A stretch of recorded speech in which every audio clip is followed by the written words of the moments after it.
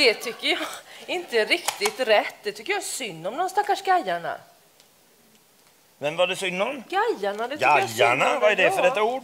Ja, men Har du det- börjat läsa bulgariska, älskling? Nej, men det heter ju så Gunnar. Nej, Jo, det det... finns inget ord som heter gaj... Hajarna, det är en fiskart. Men gajarna finns inget som heter, förstår Men du? Gunnar, det heter ju en gaj, flera gajar. Nej, nej, Jo, nej, nej, det nej var... lilla älsklingen. Vad heter det då? Det en gaj, flera gajsare.